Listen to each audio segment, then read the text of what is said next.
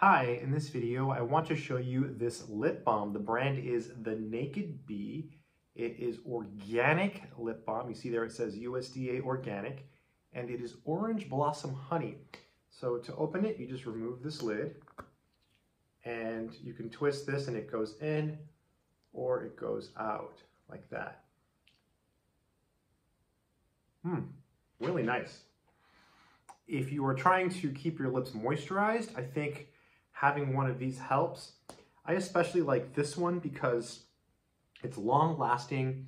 It has a, a nice pleasant scent, but it's not overpowering. It's organic and it feels good on my lips. It does a good job moisturizing. So yeah, I like it.